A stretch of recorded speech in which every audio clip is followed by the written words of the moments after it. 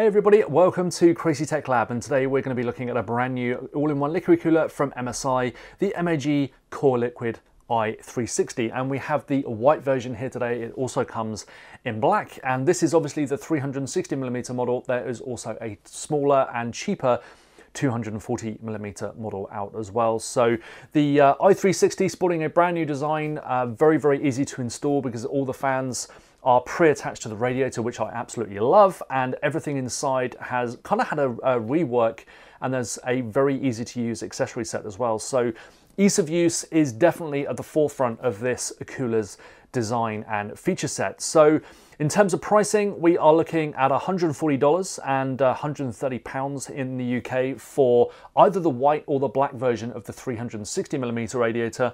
Just looking at my price list and we've got a price of £110 or $110 for either the black or the white version of the 240mm uh, i240. So Look, obviously looking at the larger cooler today, we're going to be doing some thermal testing and unboxing and seeing what you actually get in the box as well and uh, just how easy this thing is to install. And also in another video out today, we're going to be looking at how to install a 360 millimeter all-in-one liquid cooler, namely this one here, uh, just with a bit, bit more in-depth uh, guide and tips on how to install it into your PC, making sure that your PC is compatible with it, etc, etc, and also how to set up this specific cooler for cooling optimally as well. So thermal testing, check out the other video, and then we're going to come out to uh, some conclusions at the end to see if it is worth the cash.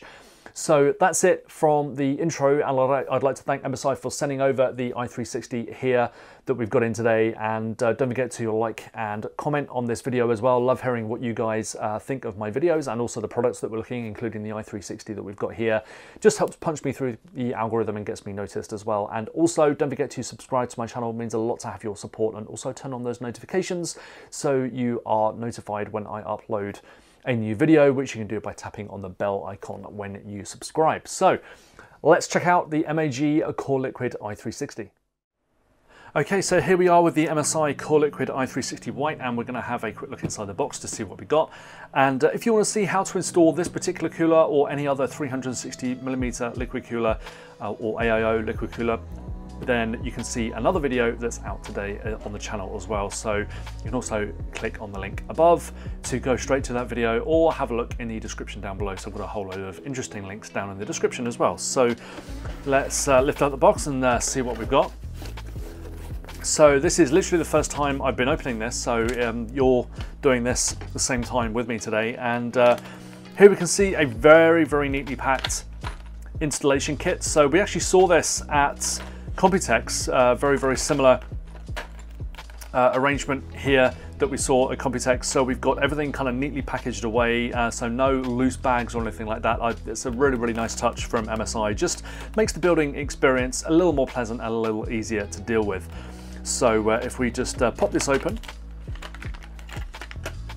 we can see that everything is labeled and we know exactly what bits we need to go to for our particular setup. So we are going to be building an AMD system today, but obviously we've got all the components here listed out for in, uh, Intel as well. So that's what I really like about this set is that it makes it really easy for the beginner to follow and install their liquid cooler. So uh, here we can see we've got the Intel bracket uh, mentioned down here and uh, presumably we're going to be using the stock AMD backplate on our Socket AM5 system. So we've got the AMD standoffs there, we've got the Intel standoffs for this backplate here, and we have some thumb screws and those kind of things. But looks like you can also use the uh, AMD buckle mechanism down here as well, which will just secure to the standard AMD uh, socket clips. And uh, then we've obviously got some thermal paste up there as well, which probably means that there is no thermal paste as standard and I would be right in assuming that. So I prefer it like this. I have to say I don't like it when manufacturers pre-apply the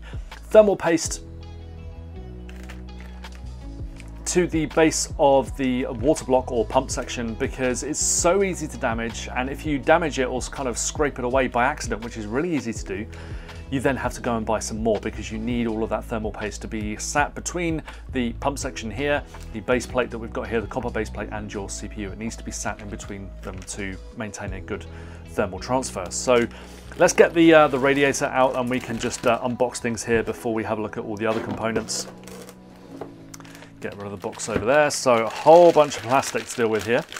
Um, but that's there to kind of to keep everything nice and shiny and uh, prevent any kind of damage to it and uh, all that kind of stuff. And uh, one thing the eagle-eyed out there will already have noticed is that out of the box, this thing comes with the fans pre-installed, which I absolutely love because uh, one option out there is to go with uh, fan frames. So a fan frame is literally just like all of this kind of bunched together. So you just have four screws to deal with, one in each corner and a couple of, uh, couple of cables to deal with as well. But the next best option to that and probably a much cheaper option as well is to just use three fans, but that means you have not four screws, but 12 screws and a whole bunch of cables to deal with. So pre-installing everything like this, and obviously we've got this gorgeous white radiator and fans on the i360 as well looks fantastic and we haven't even start, uh, powered it up yet. Uh, with all these fans pre-installed, it just saves so much time when you're building the PC. And to be honest, installing the fans to a radiator and then uh, mounting this in your in your PC case is one of the trickiest and most, just the most laborious tasks really. I just hate installing fans to radiators. So um, it's very, very simple to do out of the box, this one. So absolutely love it. Well done, MSI. So Another thing I love about this cooler is that MSI has also uh, pre-configured all your cables so they are all tied away down the side here. And then the cables themselves are just kind of attached by cable ties at the moment but they are obviously you're not going to run it like this. So I'm just going to manually, manually remove them so we can get a better look at what we're actually dealing with here.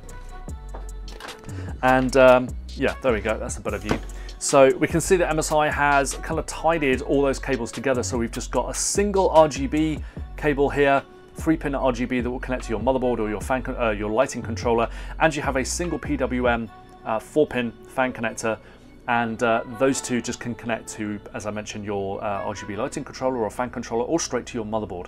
So single cable for all of those things, which is really, really awesome. Uh, so fans pre-installed, cable pre-tied and we just have one um, cable each for the RGB lighting and the fan header. So uh, the pump is powered separately. I guess maybe I might have liked to have seen um, MSI kind of do the similar setup where the cables kind of run along inside the tubes and they go down to the pump and then you just have a single cable for everything. We do have separate cables for the pump, so there's a, uh, a bit of cable tidying to do here, but just a single cable that runs off the pump like so. And uh, here again, you get a uh, power connector for the pump. So um, if you want to tune it down in terms of noise, you can do that and we'll investigate that a little bit later on to see if it's worth your while. Normally these things are pretty quiet these days, but some of them can be a bit whiny. Uh, don't know what this one's going to be like yet, so that's again something that we're going to be looking at later. And uh, we also have a single RGB connector. Now, this one actually has a daisy chain adapter here. So what that means is that you connect this bit to your motherboard and then this bit is like a secondary connector. So you can actually just remove the little cap here.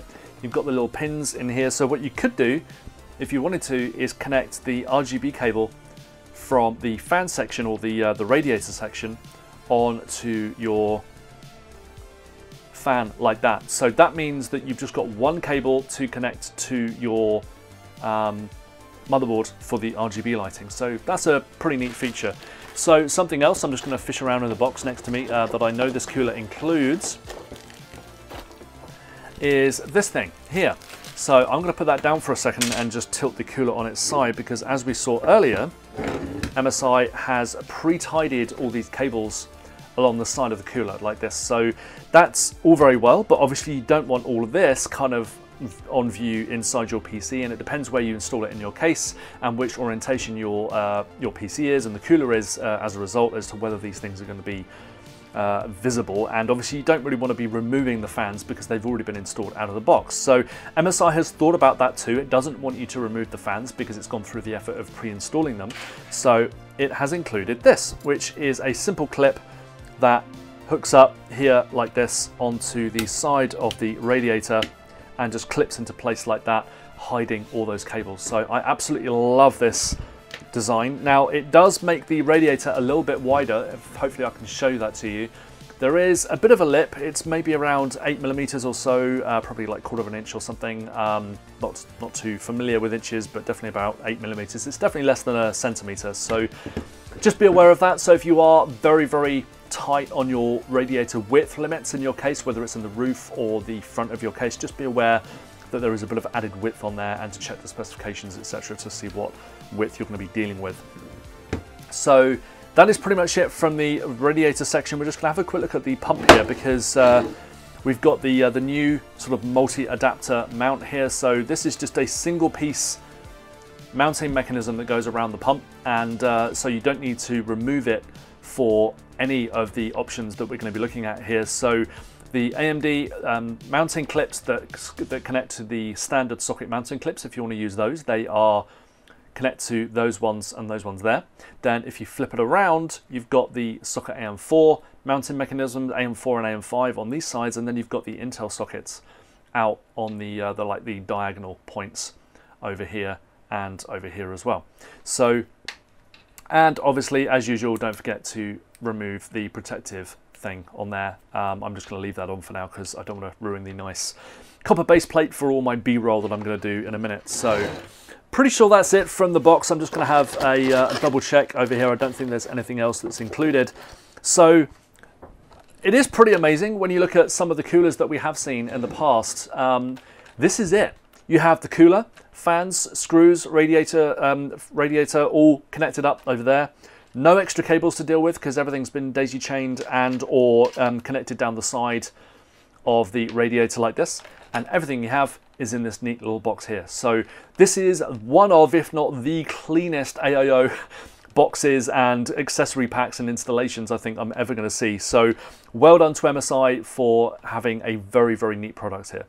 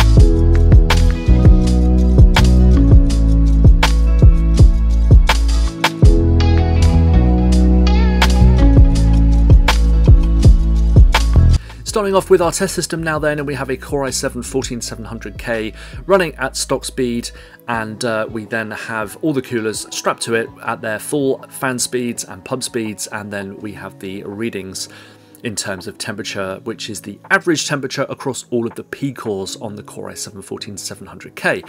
Uh, we also have the noise results in the graph, so you can see where the each cooler sits in terms of noise and the top graph is filtered by cooling so the best performing cooler sits at the top of the graph there and the bottom graph is filtered by noise levels. So the noise levels aren't comparable with what the manufacturer states or anything like that. It's literally just my own test gear that I've got here, but they are comparable between coolers in my lab, basically. So the results that you see here are comparable in terms of what cooler is louder than another, and um, generally speaking, the human ear perceives a, uh, a 10 decibel increase as a doubling of the noise levels. So when you've got just one or two de decibels between each cooler, it's noticeable, but it's not that large a difference in the noise levels. So anyway, let's carry on with the analysis, and we've got the top graph, which is filtered by cooling, and we have the MSI MAG Core Liquid i360 sitting at the top of the graph. It actually managed to beat the Arctic Liquid Freezer 3 360 by 3 degrees, which is a, uh, a great result. And um, should be worth noting though that the Arctic cooler was a little bit quieter. Its fans seemed to spin a little bit slower and it produced a little bit less noise. So both uh, coolers had a pump that was pretty much similar noise levels. Um, no real whines to it um, on either the MSI or the Arctic Liquid Freezer. Um, but the MSI did have a bit of an edge when it came to the CPU cooling. So if we look at the bottom of the graph, we've got the MSI MAG Core Liquid E240, which is a pretty decent 240mm liquid cooler. Obviously struggling, struggling a little bit to keep up with the other coolers there because it's got a radiator that's much, much smaller and it was quickly becoming warm um, during the, uh, the last few minutes of the stress test, so it's not surprising to see it at the bottom of the graph there, but still just about able to cope with a Core i7 14700K. Now moving to the noise level results, we've just touched on that briefly. The Arctic uh, with the lowest noise level here. So if noise level is really, really important, you might want to consider that. But then you can just turn down the fan speed of the MSI cooler and have uh, similar results probably. So uh, the Arctic cooler obviously having its thicker radiator so is potentially a little bit more tricky to install in some cases whereas the MSI MAG Core Liquid i360 has a standard height radiator that's less um, that's 30 millimeters or less thickness, so it's a little bit easier to house in uh, some cases out there. So, uh, and the noise level it was just about noticeable between the two, um, as I mentioned, and the MSI MAG Core Liquid E240 down the bottom of the graph had to spin up its fans quite fast to uh, get this kind of cooling, and it was significantly louder as a result. So what do we make of the MSI MAG Core Liquid i360 then? Well, I think what we've got here is a pretty well-rounded cooler in pretty much every single area. In fact, I'd say it's borderline exceptional out there right now because compared to one of the most popular liquid coolers on the market, the Arctic uh, Freezer 360 ARGB. The MSI actually undercuts it in terms of price by uh, 20 or so dollars, which is great news. The um, Arctic retailing for around 150 bucks on Newegg when I looked at this. It's a similar situation in the, U in the UK as well, but the 130 $140 price of the MSI does seem to undercut the uh, Arctic cooler in most places unless you find some kind of um, one-time deal or something like that. But that's great news. So price-wise, it's a win for MSI. Also on performance, it's a win for MSI as well. And I honestly didn't expect that. The Arctic does have a thicker radiator, but a lot of these things depend on the pump, the cooling plate, and more importantly, the fan speeds, and the fans just seem to shift a bit more air on the MSI, but then we kind of know why, because they were a little bit louder, not by a huge amount, but they were a bit louder, indicating that they were spinning faster and shifting more airflow. So from all of those points of views, um, things are really, really good for the Core Liquid i3, uh, i360. And but probably the thing that impressed me the most is the package that you get. It's incredibly easy to install. Everything is laid out and I especially love the accessory box that had everything kind of labeled in there. And thanks to the fact that the fans are pre-installed and all the cables have been kind of tidied away and amalgamated by daisy chaining, it just means that you have a very, very easy cooler to work with, which at the end of the day, is what makes the PC building experience a little bit more pleasant. And from my point of view, because I install these things a lot, it's a huge boon really to have those fans pre-installed and you just don't have to worry about them. So Obviously, there are a few, caveats with that. If you want to install the, radi the, radiator in the front of your case and have fans drawing air through, you will have to shift the uh, or remove the screws and uh, work out, uh, you know, fit that radiator to your case and then pass the, screw uh, the screws back through. But if you're mounting the radiator in the roof like we have here, then all you have to do is install the cooler, which takes literally five minutes, and then secure the radiator from the roof. Super, super easy. So I love the attention to detail here. I love the price. I love the cooling. I think it great as well. So if you are looking for an all-in-one liquid cooler, a large one, 360 millimeter model for less than 140 bucks,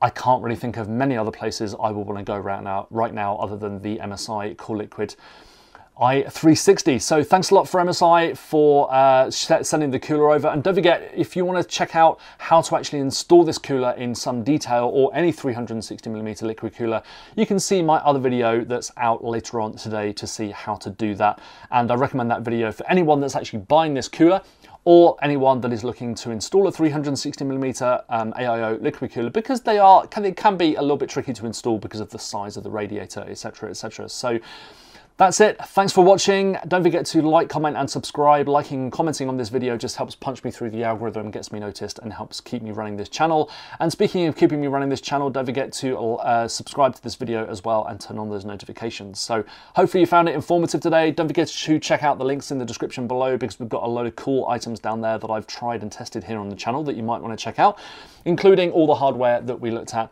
today. And if you found this video informative, you can always buy me a coffee in the link down below as well. So thanks again for watching and I'll be back very, very soon.